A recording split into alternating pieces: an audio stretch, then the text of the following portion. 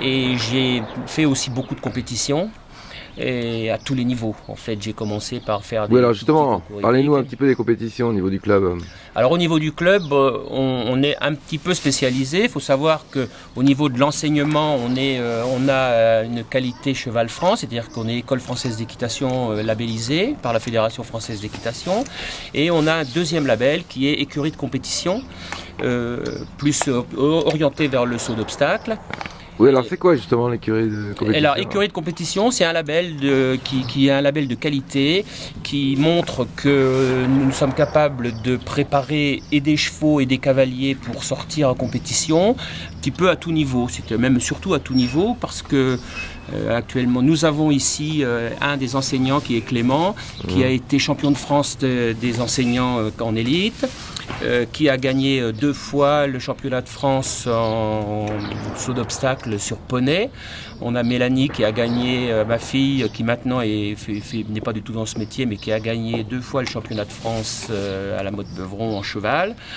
on a des cavaliers qui sont sortis en épreuve internationale, beaucoup. On a été dans le nord à Maple en Hollande et dans le plus au sud à Barcelone. Et à l'est, on a été en Suisse, en Autriche, euh, on a été un petit peu partout en Europe pour, euh, bah, pour faire briller les couleurs de Chartres, bien sûr. Mhm. Et ça, c'est le côté haut niveau. Et on a beaucoup de cavaliers aussi qui débutent, alors par les petites épreuves poney, et puis après qui montent en épreuve club, puis en épreuve amateur, et après en épreuve pro éventuellement, ou dans les grands, ou dans les grands championnats. Alors justement au niveau de l'apprentissage, il y a différentes étapes. Euh, le, premier galop, ça correspond à quoi Le galop 1, c'est un, galop de découverte de l'équitation. Il faut savoir que pour sortir en compétition chevaux officiels, il faut avoir le galop 7. Et ce sont des marches qui sont tout à fait régulières et qui, donnent une grande progression au, cavalier. Galop il, faut combien de temps pour euh, atteindre Alors c'est difficile. Euh, c'est comme si vous me posiez la question combien mm. de temps il faut pour savoir nager. Mm. Euh, ça dépend un petit peu de chacun.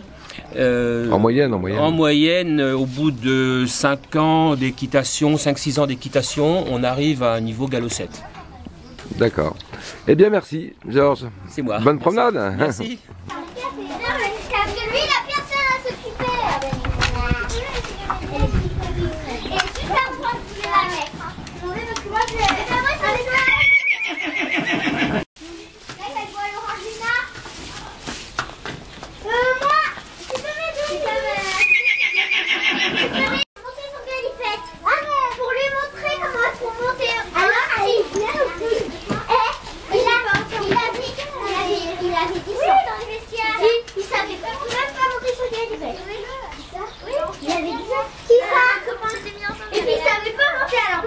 prêt pour monter. D'accord, on va monter.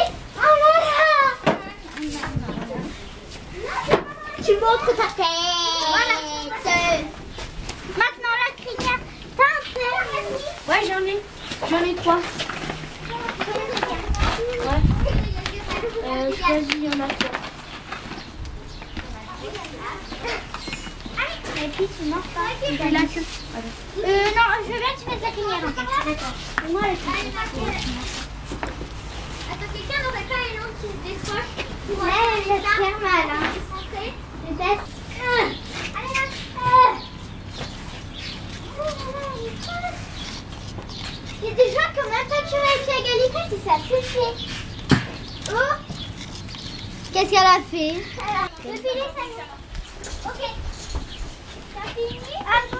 Tiens,